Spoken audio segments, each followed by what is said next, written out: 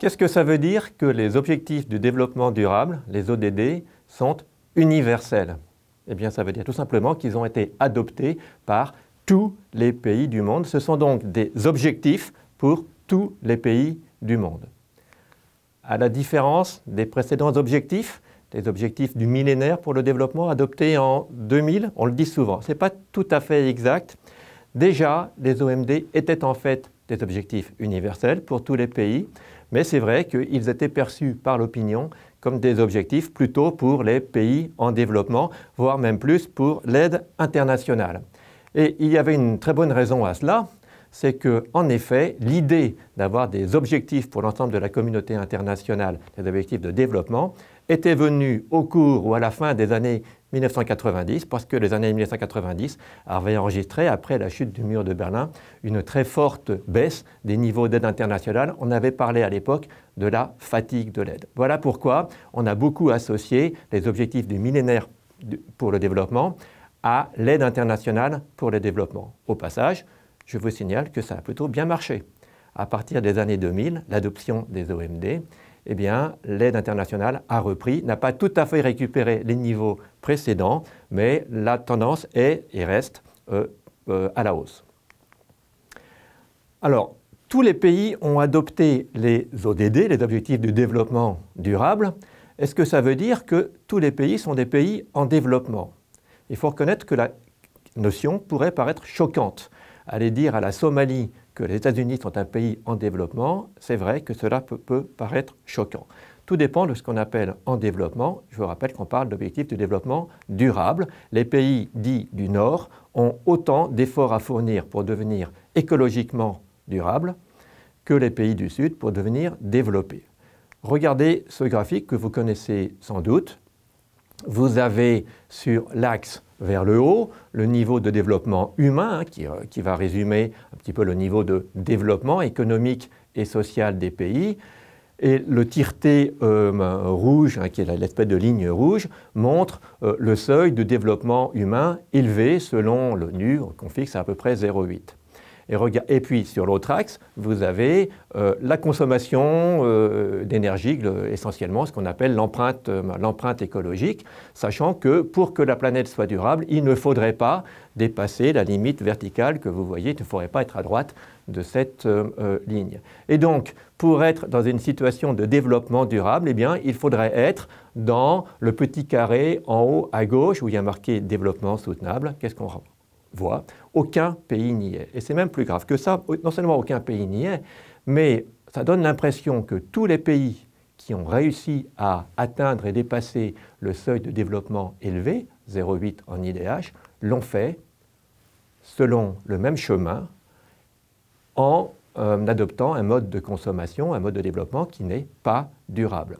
Ce chemin vous le voyez sur, la flèche, il veut, dire quoi? Il veut dire qu'il y a un énorme enjeu, en particulier pour les pays qui sont au milieu, de se rediriger, parce que c'est eux qui sont le plus proches finalement de cette petite case, de se rediriger vers un autre modèle de euh, développement.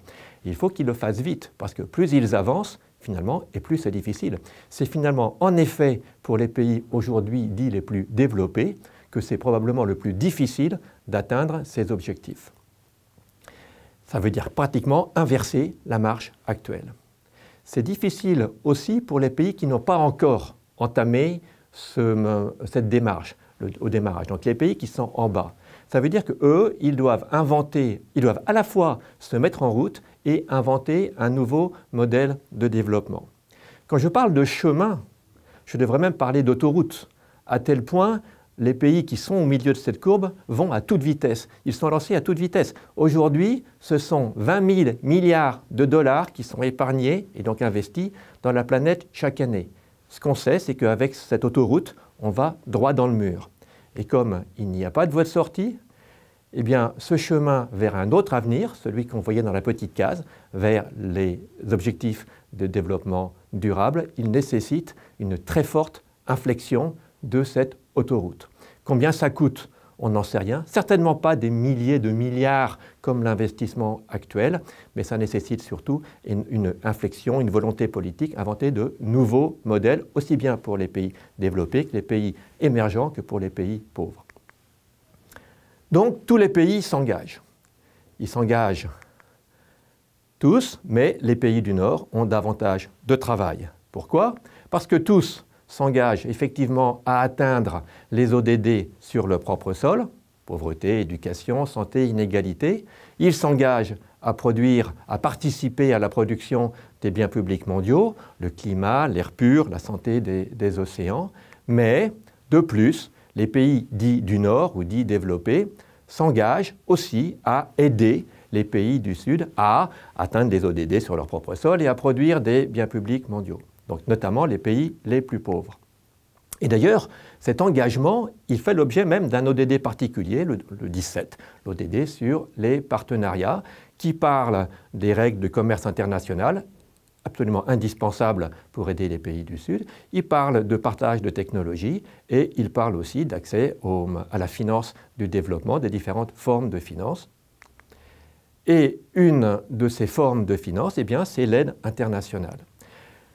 Les ODD, de ce point de vue-là, offrent aussi un nouveau cadre pour l'aide internationale. Quand je dis aussi, c'est dans deux sens. C'est d'abord parce que c'est un cadre pour tous les pays, mais aussi pour l'aide internationale. Puis parce que les OMD étaient un cadre pour l'aide internationale, les ODD le sont aussi. D'une certaine manière, les ODD explicitent le D de l'expression APD, aide publique au développement. On pourrait dire, oui, aide publique au développement, on sait ce que c'est, mais, c'est quoi ce développement? Quel développement? Eh bien, la réponse, le développement décrit par les 17 objectifs et les 169 cibles euh, des ODD.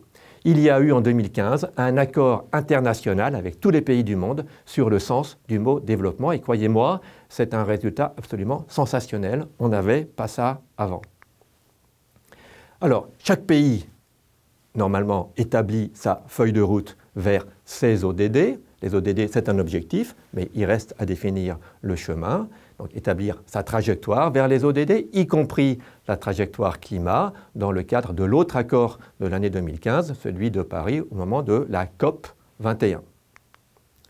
Et puis donc, le rôle des agences internationales d'aide, de l'aide internationale, c'est de venir en appui aux pays en développement pour établir ces trajectoires et puis pour les réaliser au niveau national. Donc, en définitive, que faut-il retenir? Eh bien, c'est que tous les pays s'engagent vers les objectifs de développement durable. Ce n'est pas du tout la même euh, trajectoire qui est attendue des uns et des autres, mais tous s'y engagent. Par exemple, la France, actuellement, avec le Commissariat général pour le développement durable, établit une feuille de route française vers les ODD. Pour un pays comme la France, il y a une double responsabilité.